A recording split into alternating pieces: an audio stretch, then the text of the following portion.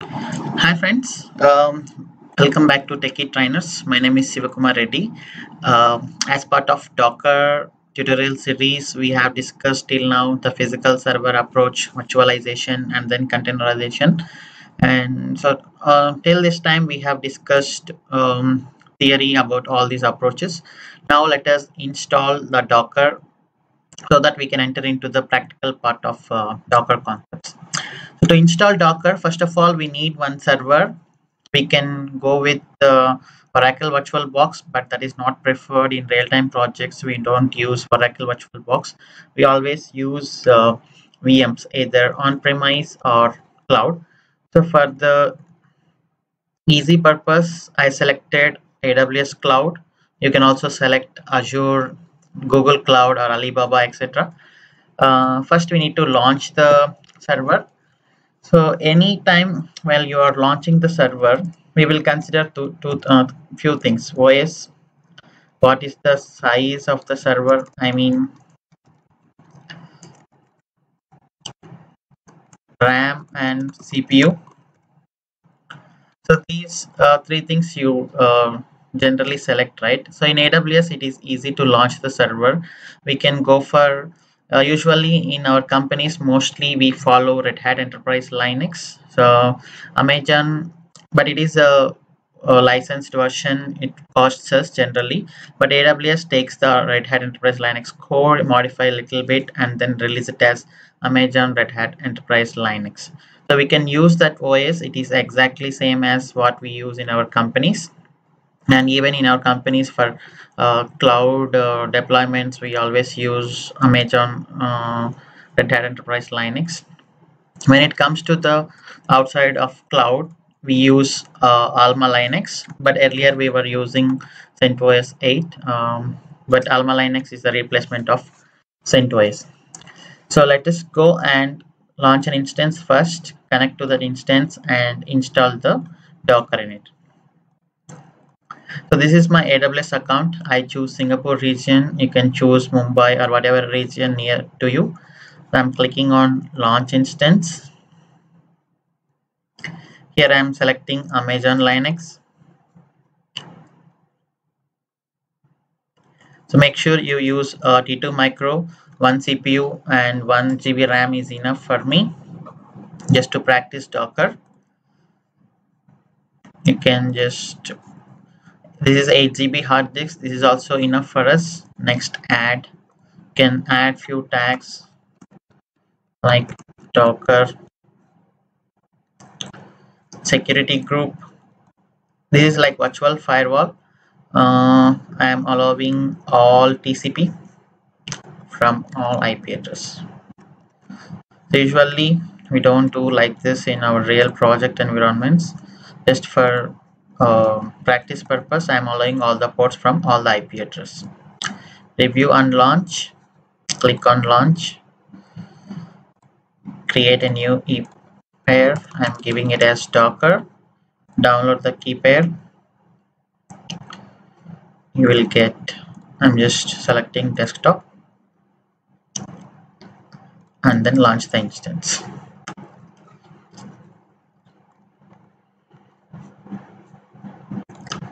go to your EC2 it may be running.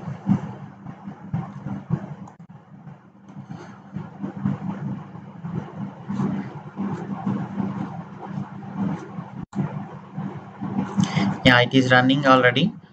Get the IP address get the public IP address how to connect to the instance.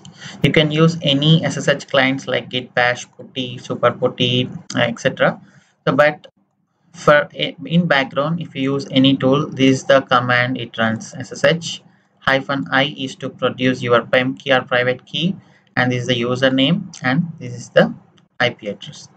So i'm using git bash here. I downloaded private key on the doc uh, desktop. So let's go to desktop. Ssh hyphen i docker dot pem ec2 hyphen user at the rate IP address.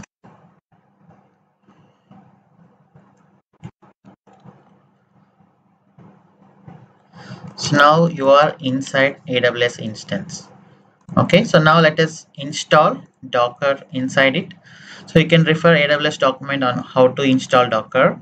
So this is the, I am searching like this, install Docker on AWS Linux 2.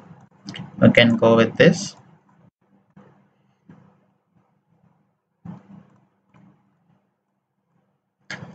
So just read these steps. First they are saying launch the instance, connect the instance. We already did this too and go like this. Just take the root access. Just increase the properties. Okay. So now they are asking us to run these commands. sudo yum update y I'm running this command so it's already updated and next run this command it's installing docker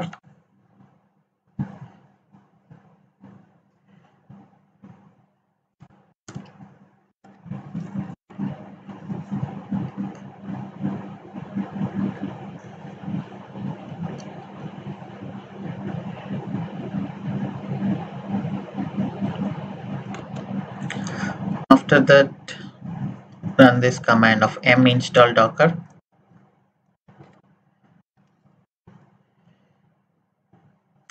Already installed.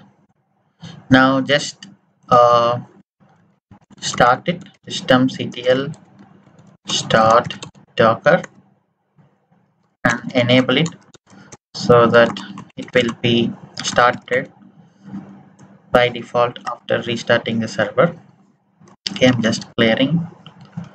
Now that's it. You started you install uh, let us try this. So now you can see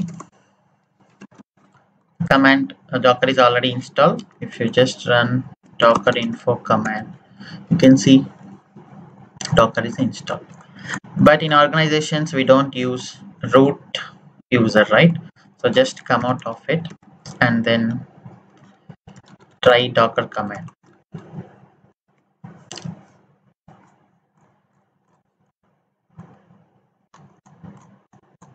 Okay so now it is run. But if you see if i give docker ps it is saying permission denied.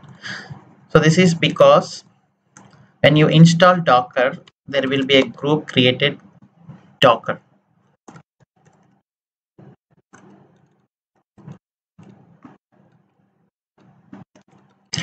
by default now we logged in as ec2 user.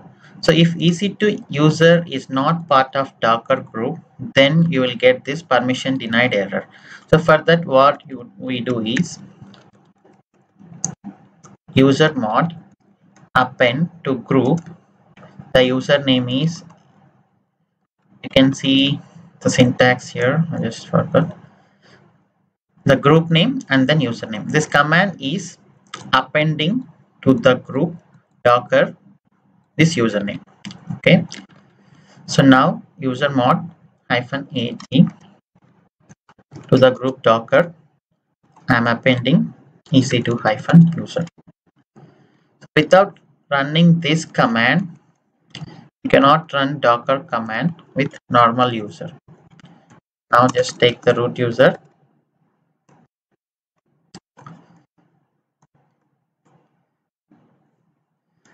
now come out of it and then try docker ps still you are not able to access because you need to exit after doing this and then log in again. Now you log in again and run docker ps you'll get this output. So this is how you install docker in amazon linux if you want to install docker on other distributions also you can go with install docker on all on linux. Okay so you can get the simple steps on for each and every distribution.